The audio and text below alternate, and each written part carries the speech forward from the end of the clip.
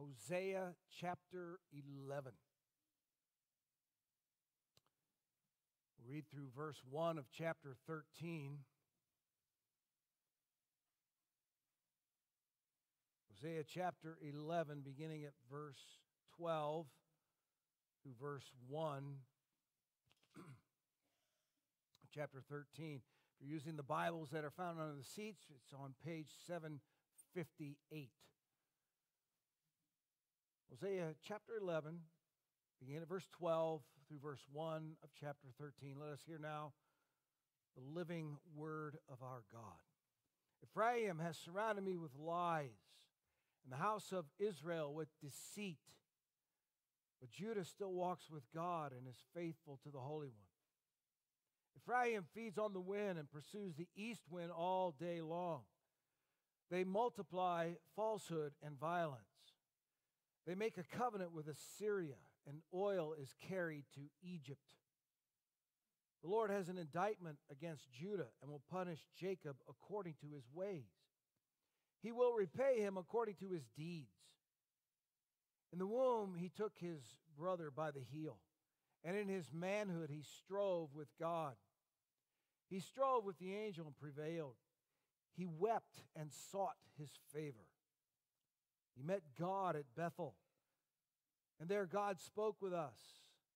The Lord, the God of hosts, the Lord is his memorial name. So you, by the help of your God, return. Hold fast to love and justice, and wait continually for your God. A merchant in whose hands are false balances, he loves to oppress. Ephraim has said, Ah, but I am rich. I have found wealth for myself. In all my labors, they cannot find in me iniquity or sin. I am the Lord your God from the land of Egypt. I will make again you dwell in tents, as in the days of the appointed feast. I spoke to the prophets. It was I who multiplied visions, and through the prophets gave parables. If there is iniquity in Gilead, they shall surely come to nothing. In Gilgal, they sacrifice bulls. Their altars are also like stone heaps on the furrows of the field. Jacob fled to the land of Aram. There Israel served for a wife, and for a wife he guarded sheep.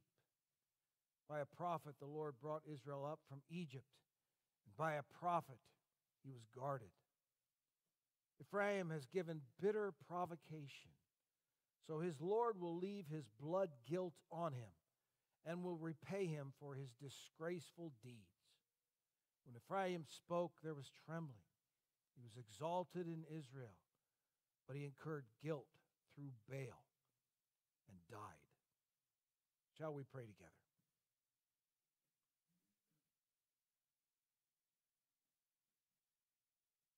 Lord our God, we pause now after hearing your word and and we would plead that you would grant to us minds that perceive and hearts that would not just know, but would feel the wonders of your message to a wayward nation and, and how that nation speaks yet to us and shows to us Christ. May you enable us to know the work that you've done that came before us upon those whom, upon whose shoulders we stand, that we would not ever renounce your gracious work in leading us through all that has come before us. And we know that you will use what comes after us. So may Christ be honored. May he be glorified this day through his word. We pray in the name of Christ. Amen. So, right up front, I'm going to tell you that this is a difficult section of Hosea. It's difficult to understand in the way that it uh, flows. It's difficult to understand in many of its details that were given. And commentators, they struggle with the um, complexities and the translation issues that they're confronted with in, in this section. But despite those challenges and despite those difficulties that we see in this section, the message The basic message is clear. The historical reference we have to the forefather Jacob clues us in that we're still in the historical section of uh, Hosea as his preaching began with this look backward, this retrospective look that began in chapter 9, verse 10.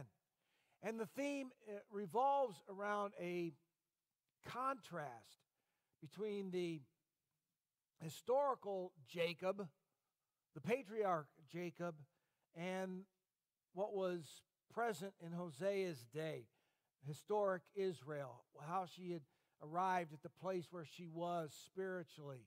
You know, Jacob started out as a deceiver, he was a manipulator, he was a uh, conniver. And yet he was changed by an encounter with God.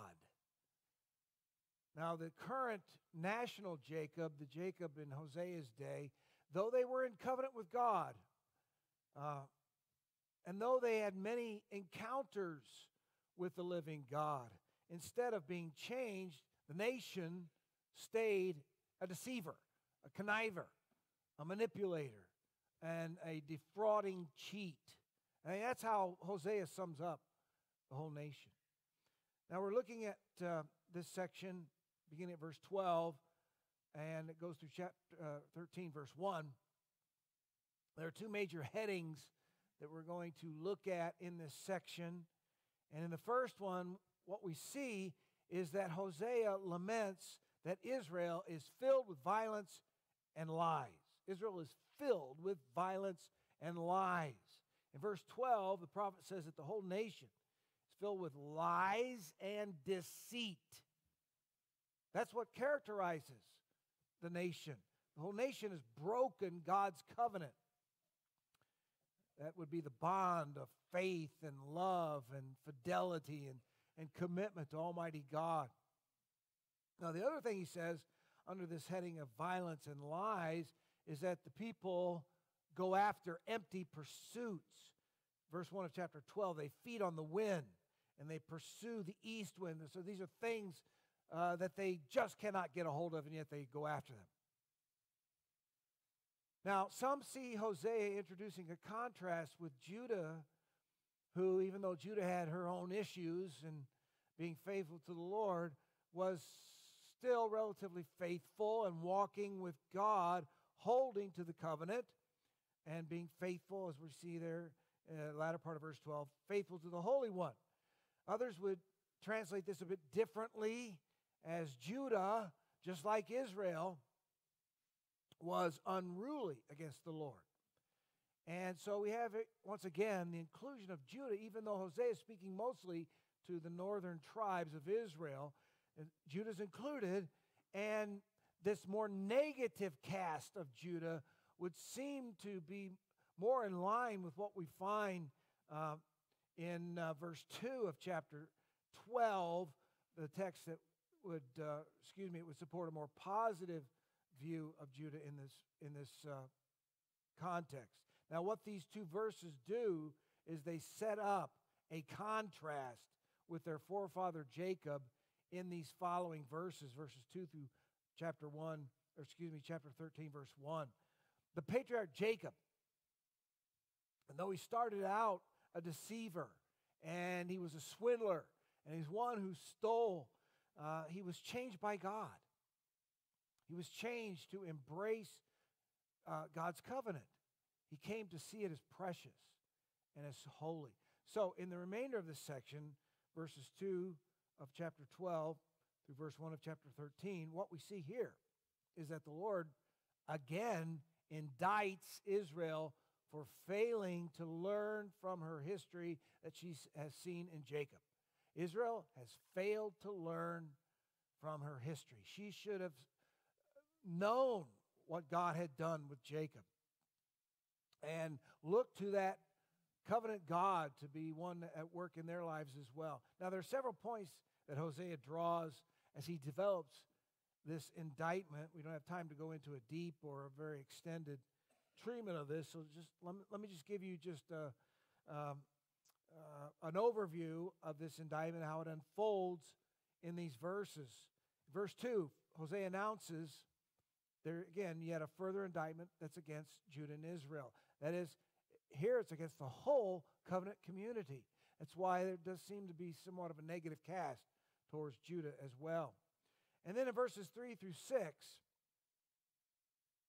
uh, Hosea references the patriarch Jacob, Israel's forefather. Notice he struggled with God and he was changed by an encounter with God's presence. And one of the places that was marked out by Jacob because of that encounter was Bethel, meaning the house of God.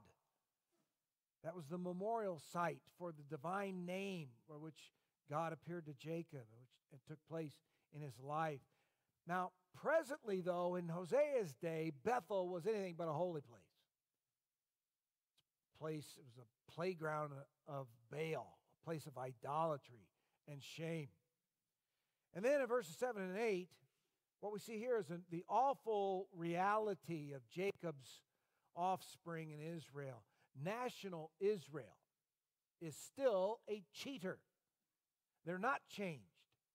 Um, they're not any different than when they first began. They use false balances. They love to oppress, verse 7. And they think they actually brought about their own riches and wealth, there in verse 8. They deny all the in all of the things that they've done and all their labors that they've sinned. And then following this in verses 9 and 10, as they're boasting in their riches, they should have known that the Lord God was the one who prospered them. But now he is going to strip them of, her, of their wealth. Instead of their fine, luxurious homes, Lord, there in verse 9, will again make them dwell in tents, like, like they were to do during the Feast of Tabernacles, the appointed feast. It's a time when, when God wanted Israel to remember her very humble beginnings. Well, now, boasting in their wealth, the Lord is going to reduce them back to that permanently, living in tents. Now, moving on, verse 11, Hosea marshals uh, two very stark pieces of evidence that Israel has just miserably broken faith with her God. Two cities are, are brought forth Gilead and Gilgal. They're filled with iniquity, false, idolatrous worship. Terrible evidence that Hosea brings. And then after this, verses 12 and 13, Hosea goes back again to the patriarch Jacob.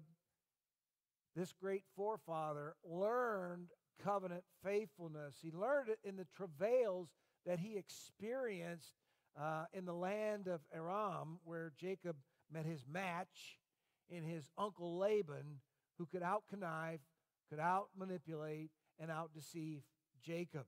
And J- there, Jacob worked for a wife. And for a wife, he tended sheep, and he was tricked into doing that. And then finally, in verse 14 and verse 1 of chapter 13, Hosea, Hosea sets forth the outcome, the result of this indictment that the Lord brings. Ephraim, notice, he's, because he's given bitter provocation. In other words, there's been an aggravation of sin. The Lord now, verse 14, will repay him for his disgraceful deeds. Ephraim, there was a time when they were an exalted people, as we see in verse 1 of chapter 13. But now, by going after the false god Baal, he incurred guilt. And as a result, he died. He died to God. He would die in the judgment that would come as the Assyrians would sweep over the land. So, over and over again, we have seen, have we not, Hosea preaching uh, these many negative, foreboding, uh, pointed sermons to the people cataloging, detailing their sins. Um, you know, I would suspect, wouldn't you, that whenever they, the people would see Hosea coming to one of their worship centers, worship sites, that they probably uh, they probably begin to roll their eyes. You know, here comes that crazy preacher again. Uh, never says anything positive, just sin, sin, sin, judgment, judgment, judgment. And his sermons are just getting really boring. You know. But I also suspect that once those prophetic sermons started coming to pass, the people and even those who made it through the uh, destruction, made it through the horrors of war, taken captive, deported, after looking back, they probably said, Yep, we thought he was just an angry, uh, obsessed, depressed preacher who couldn't keep his own family together, but you know, he was right. He was right. But by then, too late for Israel. Now, you'll notice that most of Hosea has been written in poetry. Modern versions that we have will show the, the poetic nature of this communication. But Hebrew poetry, the, the poetry that Hosea uses, not like the poetry that we're used to, uh, we think about. Uh, we mostly see it as rhyme, meter, and rhythm. Now, Hebrew poetry did have rhyme, and it, or excuse me, it did have rhythm and meter, but it's a lot different than modern poetry. It wasn't rhyme so much. There might be there might be words that would sound similar, but the main feature of Hebrew poetry was parallelism. Parallelism. Lines, uh, usually two lines, a couplet, sometimes three, a triplet, but they would either be synonymous, saying pretty much the same thing. We have an example of this in Mary's uh, Magnificat, where she says, My soul magnifies the Lord, my spirit rejoices in God, my Savior. From that synonymous parallelism, we see that soul and spirit are not two different entities, two different elements of the human person. They're just different ways of speaking about the non material side of man. That would be synonymous, but there's also antithetical parallelism. If you read Proverbs, you see that all the time in the, in the book of Proverbs. There was a third kind, uh, it was called synthetic parallelism, and that meant that in this building up of these uh, lines, it would add another element to the equation, uh, to the previous statement. Now, I, I, don't want to get into a boring discussion on poetry, uh, whether it's Hebrew or English, but just simply to give you an idea of why, why did God choose this kind of style for Hosea to deliver these very these very dark, these very negative messages to the people. I mean, we need to understand that poetry, this kind of poetry, did many things. Uh, it aided memory. Uh, it, it, it highlighted important truths. One of the biggest things it did, it made the message so much more vivid. If I could maybe put it this way, it would be almost like a pre modern motion picture with the picture with the images that would be drawn from this kind of literature, this kind of poetry. It was also a very efficient way to speak and to write. But you know, for us today, this just seems very strange. We're not used to it. At least not in these prophetic books. When we go to the Psalms, we're pretty familiar with it when we see it there. And we know how easy tends to be easy to memorize the the verses of the Psalms because of that parallelism. Uh, so, what's the point? What's the point of this? Well, the, the Lord used a style, He used a genre of communication that was very, very uh, vivid, very expressive. Um, it elicited emotion. Now, Israel, as they heard these messages, they didn't need to just hear them. Israel needed to feel these messages. And that's what this language helped to bring out, to actually feel the depth of the depravity and of the faithlessness and of the rejection of the God who loved them, who brought them to where they were. This language helped them feel that. So when it comes to you and me, guess what?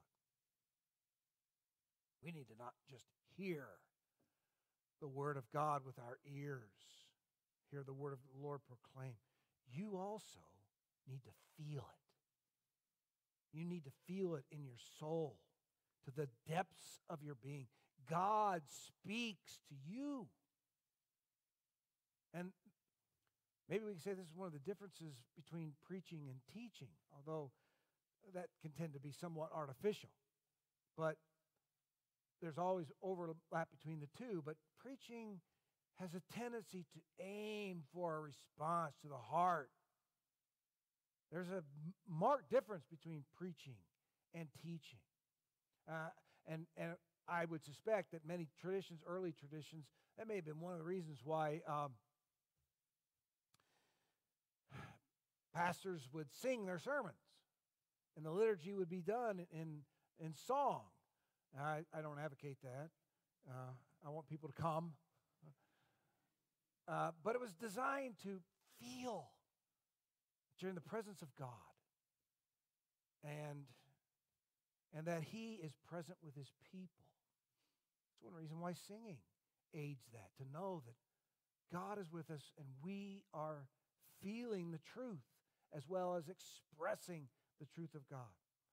Um, now, as we've been working through Hosea, the main theme is, is constant. Uh, Hosea, or Isaiah, excuse me, Israel has broken faith. They've been unfaithful. They've broken the covenant with their God.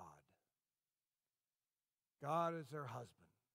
And it's just what happened between Gomer and Hosea.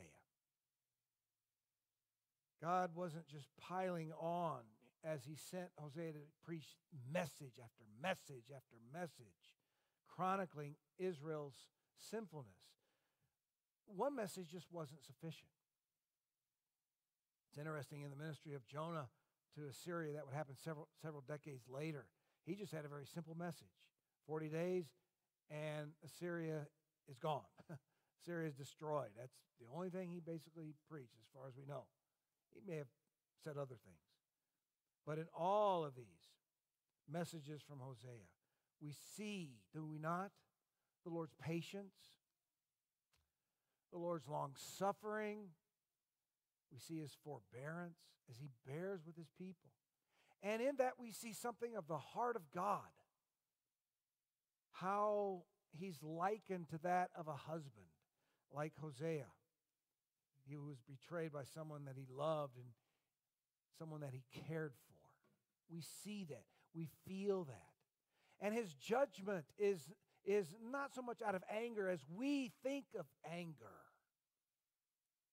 His judgment is certainly from righteous anger, anger and jealousy, because the one that he loves is destroying herself. Of course, as Israel worshiped the Baals,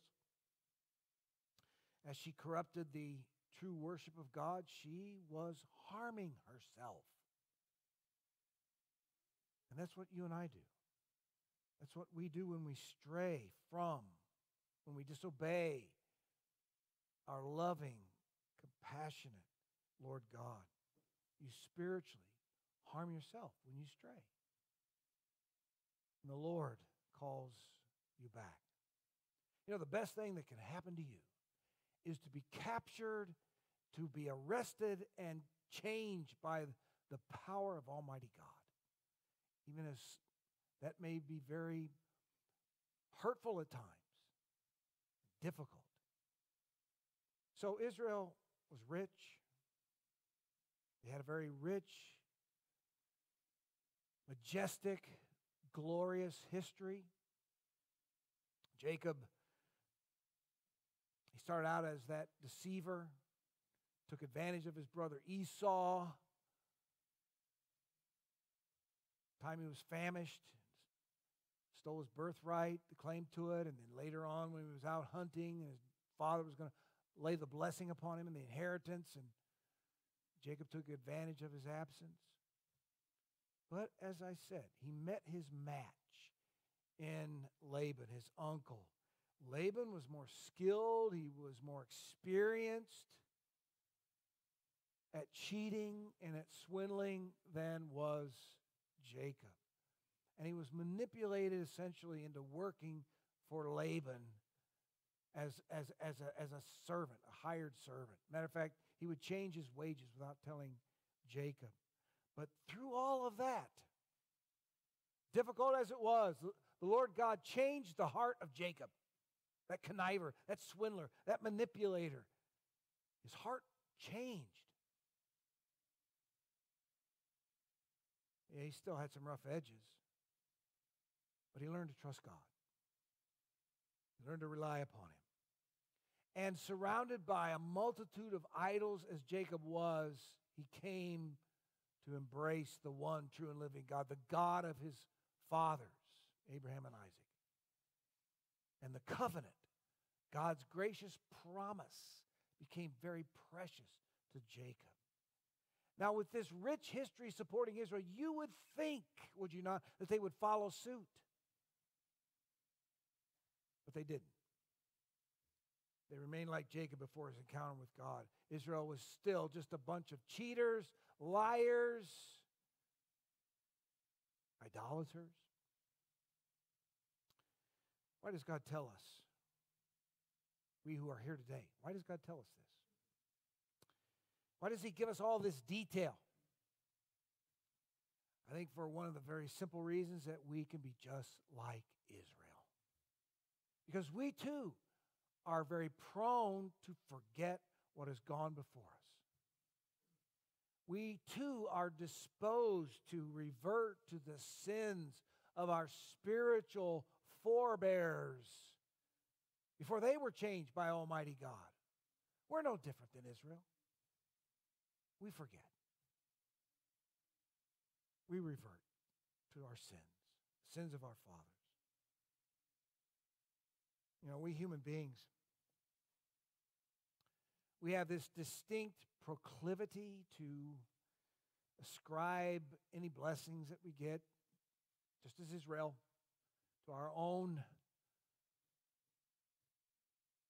smarts, our own goodness, our own our own um, imaginations, whatever blessings, whatever successes, whatever victories.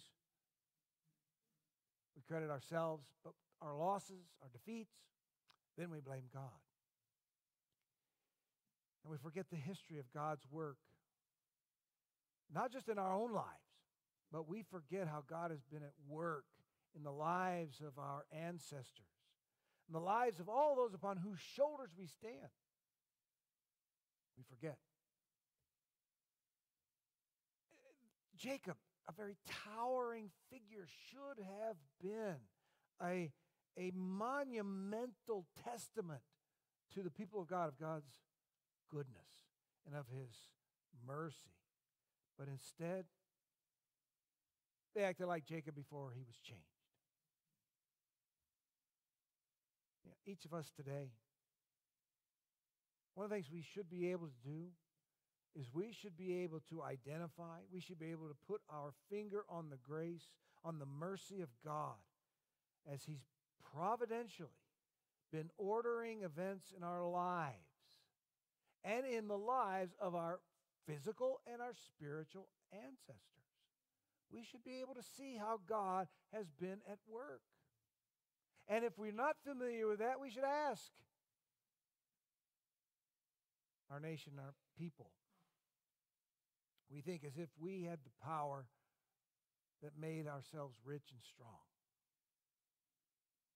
Well, God, in His judgment, in His justice,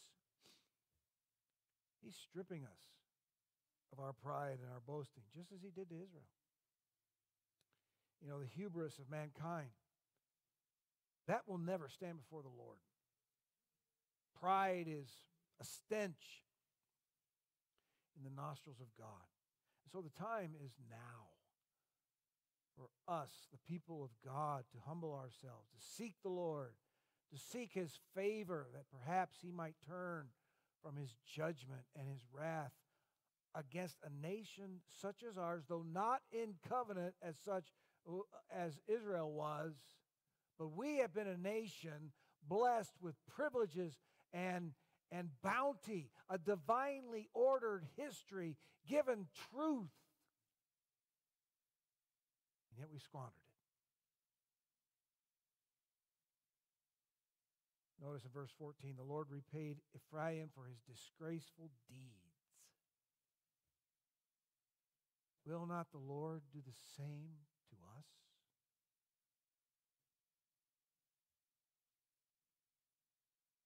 Is the season to be jolly, right? I mean, what a great message God has given to us as people. That true peace can be had. True peace. Peace in and through the Lord Jesus Christ. Peace that never ends. Peace that is real. And the time for remembering the Prince of Peace came into the world. That he was born of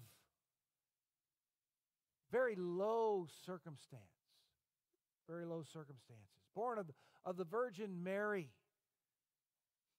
one who came to save his people from their sins, to open up righteousness, peace, and joy. That's a great message of hope for all the world to hear. It ought to be on our tongue all the time. But you know, before that message can have any context, any real meaning, the hard messages of Hosea that he preached in this passage have to be proclaimed. Israel failed to learn from her history. It was a great history a divinely ordered history. They learned. They should have learned what covenant faithful was as their forefather Jacob did, but they didn't. Israel repudiated her history. She repudiated her God. She incurred guilt through Baal. Died. The message of hope and comfort it's still it's coming in Hosea. It's there. But the time was not yet ripe for Israel to hear it. But I hope the time is ripe for you to hear the message of hope. Because you have come to understand the divinely ordered history of the Lord in your life. You have come to understand the scope of your spiritual failure and inability before God. I hope the time is ripe. And if you've forgotten, or maybe you've never understood how God has divinely ordered your history, understand this that God has planned for you this day to hear about Israel and her failures. And Almighty God was patient with a terribly wicked and stubborn people, and Almighty God is patient with you also. Stop any vain quest for pursuits that were, are like pursuing the wind. They'll never satisfy. The true riches do not come from your hands true riches are in Christ. They're in Christ and in Christ alone. He who is the Prince of Peace, Lord of Lords, and King of Kings. O holy and sovereign God, Father, Son, Holy Spirit, you are the only true fountain of blessing. And yet we, just as Israel, we're prone to wander. We're prone to leave the God that we claim we love. So may Christ, may Christ alone be our passion and our pursuit. Oh, may remove from us lies and deceit. May we may we seek and know truth as it is only in Christ Jesus. And so today as we come to your table of remembrance, let us remember, let us trust alone what our Savior has accomplished, he by whom Hosea spoke, and in whom alone we have life. It's through Christ our Lord that we pray. Amen. Let's stand and let's sing about that truth. It's in Christ alone that our hope is found.